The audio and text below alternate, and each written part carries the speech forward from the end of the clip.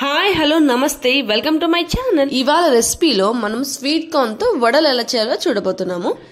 ఎప్పుడు చూసిన మిరపకాయ బజ్జీలు లేదంటే అలసందలు ఉద్ది వడలు ఇవి కాకుండా ఎప్పుడైనా క్లైమేట్ చల్లగా ఉన్నప్పుడు ఈ రెసిపీని మాత్రం ఖచ్చితంగా ట్రై చేయండి. ఇది మాత్రం నానబెట్టాలి ఉడకబెట్టాలి అన్న ప్రాసెస్ అయితే అస్సలు లేదు. జస్ట్ ఇమీడియట్గా అయిపోయే ప్రాసెస్ మాత్రం ఇదే.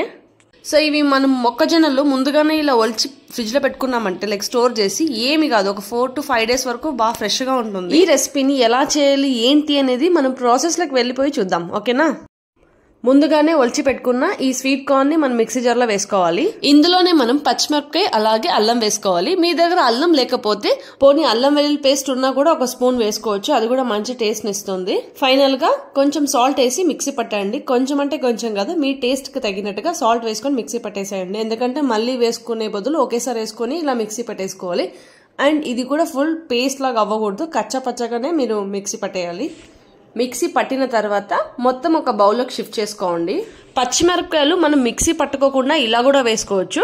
కానీ నేను ఎందుకు మిక్సీ పెట్టానంటే నా దగ్గర ఆల్రెడీ చాలా స్పైసీగా ఉన్నాయి పచ్చిమిరపకాయలు. ఒక్కటి ఆర్ రెండు వేసానంటే నాకు అదే ఎక్కువ అయిపోతుంది చాలా స్పైసీగా అవుతుంది.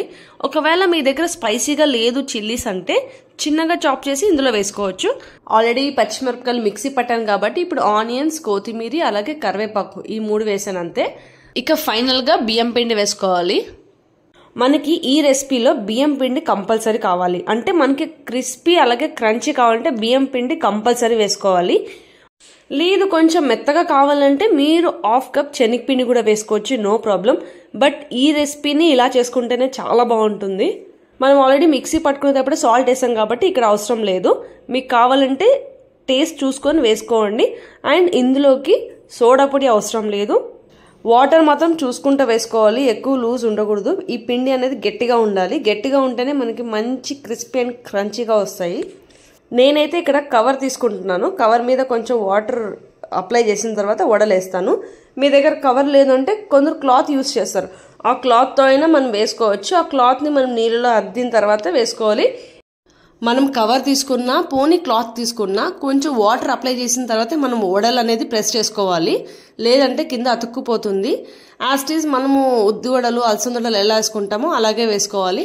ఆయిల్ బాగా వేడైన తర్వాత నార్మల్ మీడియం ఫ్లేమ్లో పెట్టి వడలు కాల్చుకోవాలి.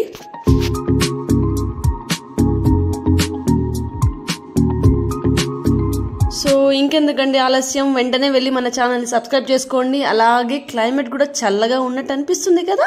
వెళ్ళి ఈ వేడి వేడి వడలు వేసుకోండి. క్రంచీ క్రంచీగా క్రిస్పీ క్రిస్పీగా టేస్ట్ మాత్రం చాలా బాగుంటుంది. నాకైతే ఈ వడల్ని చూస్తుంటే మళ్ళీ మళ్ళీ వేసుకొని తినాలనిపిస్తుంది. నేనైతే ఇప్పుడు వెంటనే వెళ్ళి ఈ వడలు వేసుకొని తినేస్తాను. మీరు కూడా ఈ రెసిపీని ట్రై చేసి ఎలా వచ్చిందో కమెంట్ చేయండి.